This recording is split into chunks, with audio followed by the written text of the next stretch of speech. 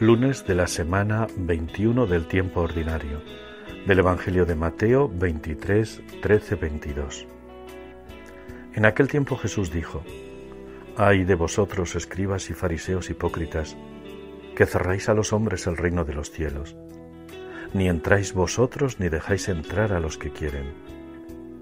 Ay de vosotros, escribas y fariseos hipócritas, que viajáis por tierra y mar para ganar un prosélito, y cuando lo conseguís, lo hacéis digno de la gehenna, el doble que vosotros. Ay de vosotros guías ciegos que decís, jurar por el templo no obliga, jurar por el oro del templo sí obliga. Necios y ciegos, ¿qué es más, el oro o el templo que consagra el oro? O también, jurar por el altar no obliga, jurar por la ofrenda que está en el altar sí obliga ciegos, ¿qué es más? ¿La ofrenda o el altar que consagra la ofrenda? Quien jura por el altar, jura por él y por cuanto hay sobre él. Quien jura por el templo, jura por él y por quien habita en él.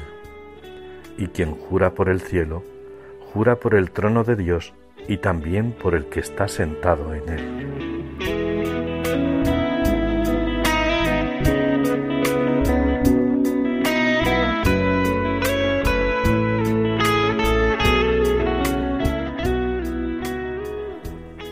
Hoy el Señor no puede hablar más claro sobre las actitudes de los fariseos y escribas.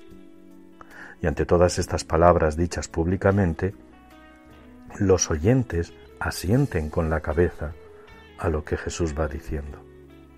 La gente tenía miedo a los escribas y fariseos por las repercusiones sociales que entrañaba expulsar a alguien de la sinagoga.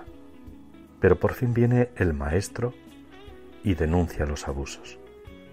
Y lo hace con referencias a la ley, es decir, utiliza los mismos argumentos que ellos, pero sin manipular los textos escritos.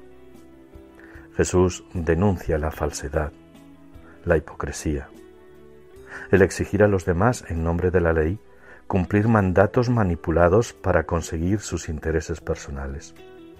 El abuso no puede ser mayor podemos recoger aquí una serie de pecados que no solo van contra Dios, sino que perjudican directamente a las personas implicadas. Extorsión, obstaculizar, manipular, recortar la ley, idolatría, jurar en falso, utilizar el nombre de Dios en vano, todo para conseguir unos beneficios materiales y de respeto, temor en nombre de Dios. Por eso Jesús es tajante. Ya no puede soportar más el sufrimiento de los sencillos que son ahogados diariamente con las falsas leyes de los fariseos. Hoy nosotros tendremos que pensar también en cómo utilizamos las leyes, las humanas y las divinas. O dicho de otra manera, no hace falta que sean leyes, basta con considerar el poder o la influencia que tenemos sobre otras personas. ¿Cómo actuamos con quienes sabemos que nos miran o esperan nuestra opinión? ¿Somos sinceros? Ante la tentación de manipular para lograr nuestros intereses, ¿somos justos? Y un paso más. Si la verdad supone perder esa cierta fama lograda, ¿defendemos siempre la verdad? Hoy Jesús denuncia a los fariseos, pero también cuestiona muchas actitudes nuestras que rayan en farisaicas. Recibe la bendición de Dios Todopoderoso, Padre, Hijo y Espíritu Santo. Amén.